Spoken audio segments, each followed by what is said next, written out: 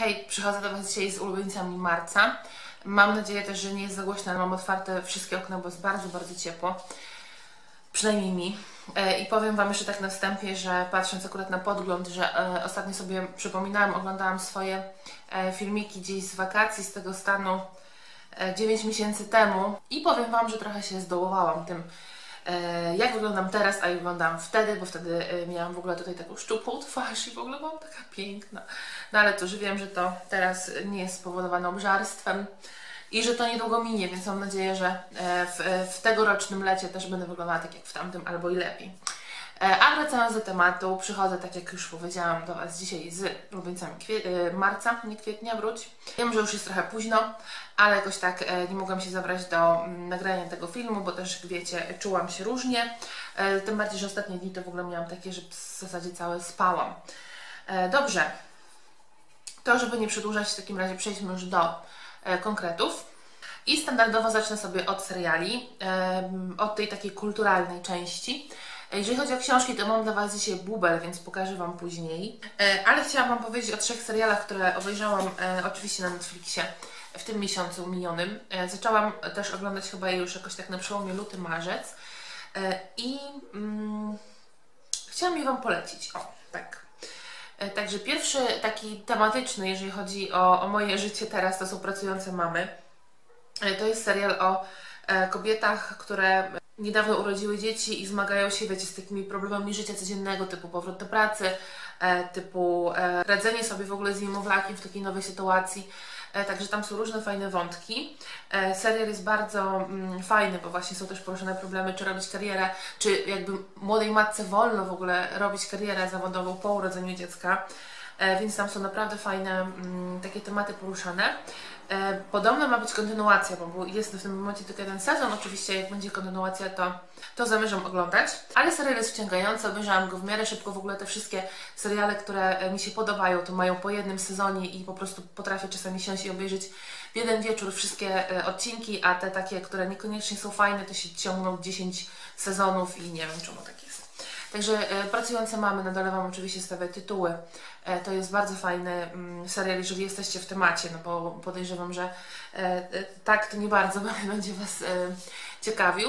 Ale jest taki przyjemny do oglądania. Natomiast drugi serial, który Wam chciałam polecić i po prostu tak mnie wciągnął, że nie spodziewałam się w ogóle, że ja do takiego serialu zajrzę, bo jest serial trochę taki dramatyczny, oparty na autentycznych faktach.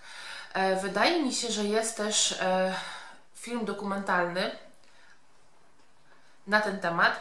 E, Serial nazywa się Dirty John i to jest serial o mm, psychicznym człowieku, który gdzieś tam e, w internecie, albo i też nie w internecie, wyhaczał swoje ofiary, które oczywiście tam, wiecie, bajerował i zbliżał się do nich. No i oczywiście później e, z tego wynikały różne takie historie, e, problemy finansowe, problemy z przemocą i tak dalej, tak dalej, z przemocą taką bardziej psychiczną niż fizyczną. E, serial jest niesamowicie wciągający, aktorzy super, po prostu mm, jeżeli chodzi o aktora tego głównego, który zagrał właśnie tego Johna, to uważam, że ja bym się go bała na ulicy, ja bym go spotkała jako taką osobę żywą, chodzącą, to podejrzewam, że miałabym problem z rozdzieleniem, że to była rola aktorska, a że on taki nie jest naprawdę, tak niesamowicie wczuł się w tą rolę. E, serial do końca trzyma w napięciu. Ja e, już większość tych odcinków później to obejrzałam po prostu ciurkiem, północy przesiedziałam. Zakończenie jest totalnie nieoczywiste. E, No i fakt, że to jest na autentycznych, że to jest nagrane na autentycznej historii, to też daje do myślenia. Wokół nie brakuje psycholi i ja o tym dobrze wiem, bo nieraz się przekonałam o tym osobiście. Powiem Wam, że jak się to ogląda, to człowiek sobie myśli i docenia, że znalazł drugą normalną połówkę i że po prostu na razie przynajmniej gdzieś tam em, nie, ta sprawa go nie dotyczy i że po prostu coś takiego nie wejdzie, bo to jest niezłe bagno. Ale jest niesamowity serial, także pełen emocji. E, Bardzo Wam serdecznie polecam. No i ostatni, który obejrzałam, też bardzo fajny. e, To też jest nowy serial, który podobno będzie miał kontynuację. E, To jest serial Afterlife. Jest to taka trochę czarna komedia o mężczyźnie, który stracił żonę. E, Żona umarła w, wyniku choroby, w wyniku raka. E, I radzi, próbuje sobie poradzić w życiu e, bez niej. No i oczywiście, jak to wiecie, w życiu bywa, no nie radzi sobie z tym, jest złośliwy dla, dla otoczenia, nie daje sobie pomóc, zamyka się, odtrąca od siebie e, ludzi. I w zasadzie na początku jedynym e, sensem jego życia jest po prostu pies, którego trzeba karmić i, i się nim zajmować, bo gdyby nie ten pies, to mm, on nieraz powtarza, że już by go na tym świecie nie było. E, I tam jest dużo właśnie takiego czarnego humoru, e, ale też bardzo fajny, życiowy serial. Myślę, że niestety temat raka jest bardzo aktualny i dużo, mm, dużo osób traci swoich bliskich właśnie w, w konsekwencjach tej choroby. E, więc też serial jest jak najbardziej aktualny i pokazuje jak najbardziej problem właśnie wychodzenia z tej traumy po stracie takiej osoby, że nie jest to proste, ale się da. Także też polecam Wam e, serdecznie taki, ten serial obejrzeć. E, Wszystkie te trzy seriale są bardzo przyjemne, nie są jakieś takie e, męczące, także naprawdę przyjemnie się ogląda. Obejrzałam wczoraj, skończyłam oglądać jeszcze jeden serial, ale to już jest na kwiecień, e, więc pokażę Wam go w następnych ulubieńcach, czy pokażę Wam, opowiem Wam o nim.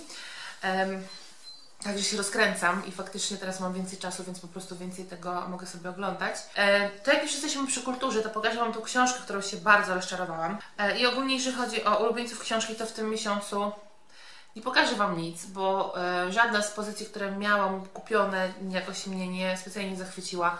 E, teraz też czytam fajną książkę, ale to znowu będzie już następny miesiąc, więc jakoś tak w marcu niekoniecznie e, mam Wam coś do pokazania. A Bubel, którym jestem bardzo rozczarowana, to jest, słuchajcie, książka pod tytułem Królowa Oszczędzania. Jest to książka, na którą ja czekałam prawie dwa miesiące, bo czekałam w jakby tej prapremierze w Empiku, śledziłam, kiedy ona będzie już dostępna. E, No i zakupiłam ją jak już tylko była. E, I książka, e, opis tej książki był taki, że jakby autorka Wam pokaże, chce pokazać nam mm, sposoby właśnie oszczędzania, czy jakby taki, wiecie, biznesplan oszczędzania pieniędzy. Jak w rok pozbyć się wszystkich natręstw i em, manii kupowania i właśnie te pieniądze sobie gdzieś tam odkładać. Więc miał być to taki poradnik praktyczny właśnie, jak się ogarnąć i oszczędzać te pieniądze. Natomiast książka jest napisana, to jest w ogóle jakby totalnie odbiega od tematu, bo jest to po prostu e, biografia e, autorki, jest jej historia opisana o tym, jak ona tam wpadała w różne nałogi, jak ona te pieniądze wydawała. E, Później zaczęła te pieniądze oszczędzać, ale tam nie ma nic konkretnego w tej książce, jak ona zaczęła to oszczędzać. Po prostu jakby to jest pisane w takim formie pamiętnika, że mm, tego dnia e, robiłam to i to, tego dnia oszczędziłam tyle i tyle. E, w książce jest dużo właśnie takich em, opisanych ich, jej emocji, co ona czuła, jak ona, e, jak ona żyła przez ten rok, jakie właśnie emocje nią kierowały, ale to jakby nie jest kompletnie kierunek, w którym ta książka miała iść. I ja kupując tą książkę, to spodziewałam się właśnie jakichś konkretnych rad, tak jak są takie, wiecie, typowe książki właśnie o rozwoju osobistym, że macie e, jakieś plany, macie jakieś ćwiczenia, e, żeby gdzieś tam nad sobą popracować, to tutaj jest to po prostu dla mnie to jest pamiętnik dziewczyny, która e, oszczędziła, która wyszła z długów e, przez rok, ale nie powiedziała jak to zrobiła, także dla mnie to są w ogóle pieniądze wydane mm, totalnie wyrzucone w błoto, e, więc nie jestem zadowolona z tej książki, bardzo się nią rozczarowałam, bo naprawdę długo na nią czekałam. Dalej, słuchajcie, to jest mój absolutny hit za 5 zł. E, Ja Wam mówiłam e, w vlogu, który pojawi się przed tym e, filmem, mm, przynajmniej tak się postaram, żeby było, że mam teraz manię po prostu zjadania i wypijania napojów z lodem. No i oczywiście, jak zwykle, zawsze był problem jakby robieniem tych kostek lodu. U nas w domu przez długi czas były właśnie takie pojemniki typowo plastikowe, ale tam był problem, bo em, te kostki nie chciały wychodzić, tam trzeba było podważyć nożem, one strasznie pękały. Później były woreczki foliowe, no to wiadomo, że woreczki foliowe nie są zbyt dobre dla środowiska, a w takich dużych ilościach to też ja zaczęłam mieć wyrzuty sumienia, że po prostu e, tyle tych woreczków się, tego plastiku się wyrzuca. E, Są też, widziałam, dostępne takie plastikowe kostki, które się po prostu wrzuca do napoju i one chłodzą, ale to też znowu jest takie, wiecie, picie plastiku. No i siostra mi, słuchajcie, pokazała absolutnie fantastyczne pojemniki do lodów Pepko za 5 zł. Mam dwa, mam ten i mam niebieski. E, Dlaczego one są aż tak fantastyczne? Bo one tutaj oczywiście się niczym nie różnią od zwykłego pojemnika. E, To nie wiem na co jest, może to jest na wlewanie tutaj wody, nie wiem, ja to po prostu zdejmuję. E, Natomiast fantastyczna jest e, rzecz ta tutaj, czyli ona ma e, te silikonowe jakby pod, podkładki, ten spód silikonowy, dzięki czemu wybijanie z tego kostek lodu to jest po prostu czysta przyjemność. Tak jak pamiętam, zawsze męczyłam się właśnie z typowo plastikowymi opakowaniami, które właśnie pękały, które nie były absolutnie praktyczne. To tutaj jest super sprawa, bo mamy silikon i Wystarczy lekko sobie tutaj przycisnąć i ta kostka po prostu wypada, także i też nie leci przez pół kuchni, tak jak mi się zdarzało właśnie przy tych plastikowych. Także ja jestem bardzo zadowolona z tych pojemników. E, ja, słuchajcie, napełniam taki pojemnik raz, czasem do dwóch razy dziennie. Po prostu mam taką fazę teraz na kostki lodu. E, więc u mnie to chodzi non-stop. Za te pieniądze super sprawa, ładne kolory, także to jest mój absolutny ulubieniec. E, jeszcze raz powtarzam, to jest Pepko za 5 zł. Dobra, i przechodzimy do pielęgnacji, słuchajcie. Um, dwa produkty, które bardzo polubiłam w tamtym miesiącu, bardzo się z nimi polubiłam, to jest ta seria z Michael Rins, którą Wam pokazywałam właśnie w holu zakupowym. E, to jest mgiełka i akurat ja mam ten krem e, nawilżający, taki lekki, to nie jest ten matujący, tylko on jest po prostu nawilżający.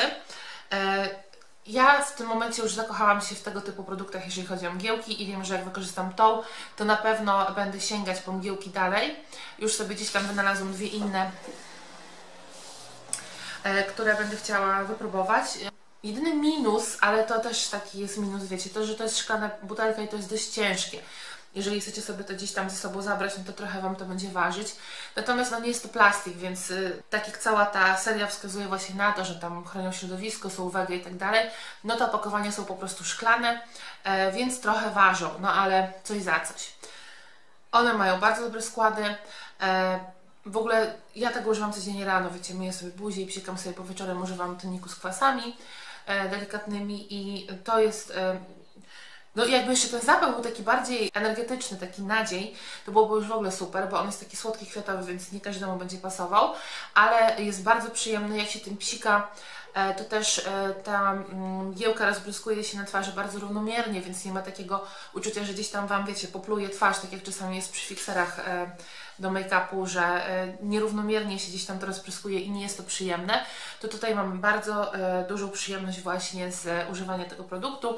No i krem, on jest dość lekki, ma bardzo ładny zapach, e, lekkością przypomina bardzo kremy z klinika, szczególnie ten moisturizer, ten różowy. Nie jest to seria, która Wam pomoże, jeżeli macie jakieś problemy skórne, jeżeli macie jakieś bardzo wysuszoną, podrażoną buzię, czyli jeżeli chcecie działać sobie tak anti-aging, bo one bardziej działają tak typowo nawilżająco, trochę gdzieś tam matująco, ale nie mają takiego działania, wiecie, odżywczego mm, w kierunku właśnie już e, anti-aging. One są bardziej też skierowane właśnie na takiej młodej skóry, e, ale na dzień jest krem super. Ja uważam, że, dzień, e, że krem na dzień powinien po prostu nawilżać, chronić przed słońcem i gdzieś tam ewentualnie lekko matowić, jeżeli jest taka potrzeba. Żadnych odżywczych, ciężkich kremów na dzień, absolutnie. Ja nie jestem fanem tego typu produktów, więc on się bardzo fajnie sprawdza właśnie pod makijaż na dzień.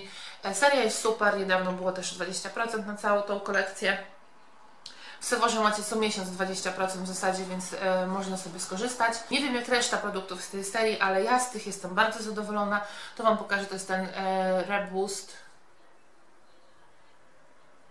Mm, bo tam są różne te kremy, żebyście wiedziały, o które chodzi. Mgiełka jest tylko jedna, to jest ta e, Refresh.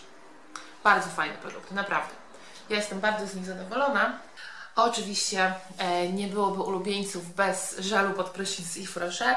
E, nowy, nie wiem czy to jest nowy w ogóle zapach w tym roku, ale nowy u mnie w, w łazience, to jest marakuja i imbir.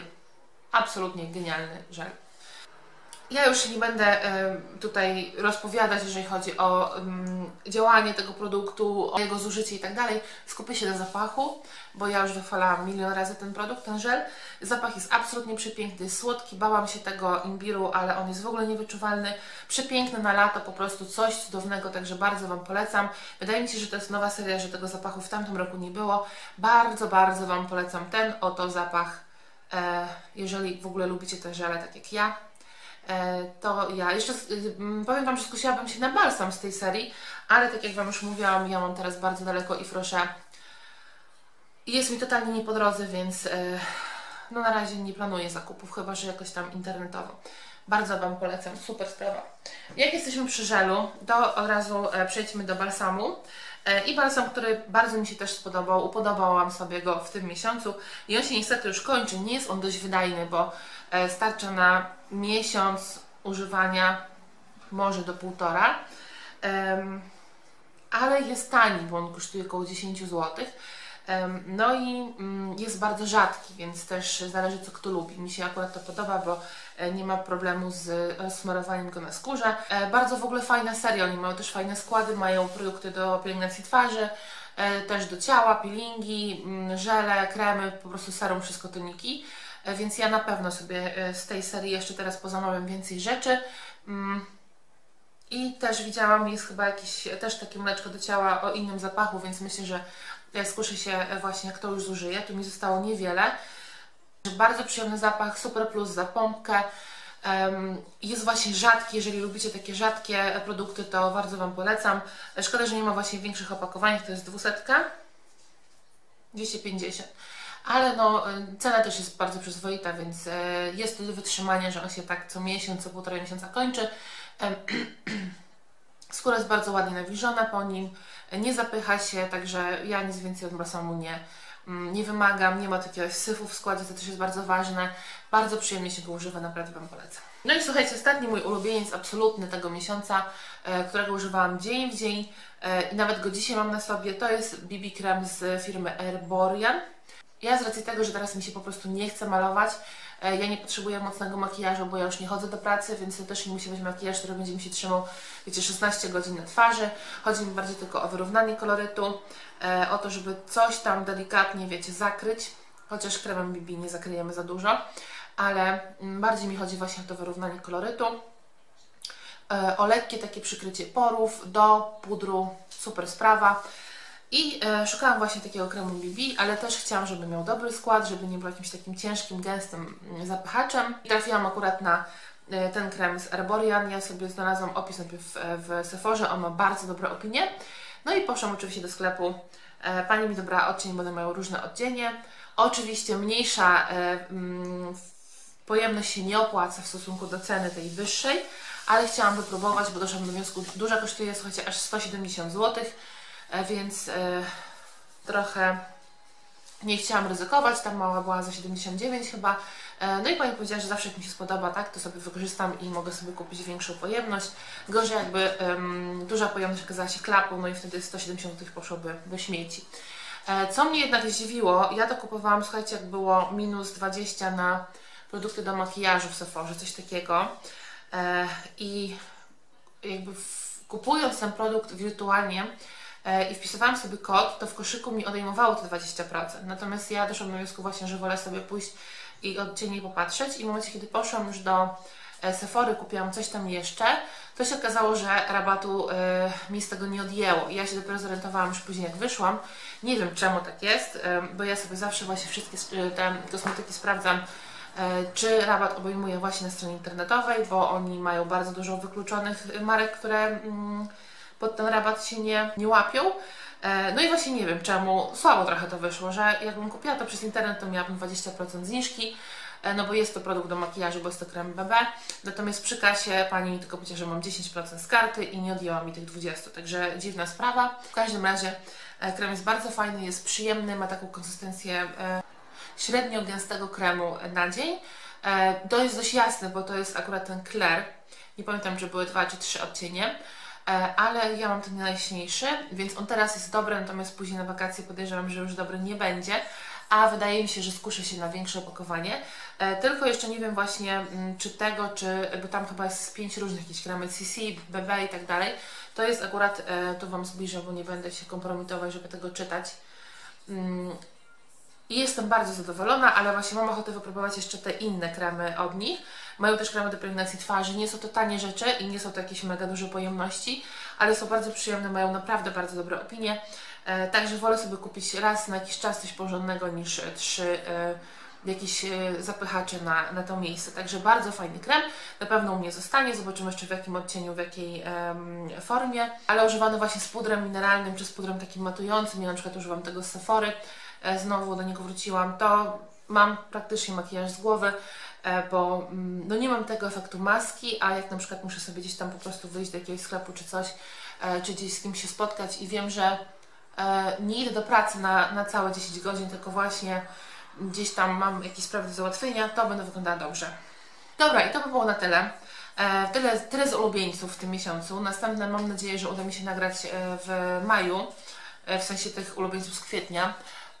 No ale zobaczymy jak to wyjdzie. Nie mogę na chwilę obecną nic planować. E, Jeżeli film Wam się podobał, to oczywiście zostawcie jakiś ślad po sobie. Ja Wam dziękuję za oglądanie. Jeszcze raz Wam bardzo dziękuję. Życzę Wam miłego dnia i do zobaczenia następnym razem.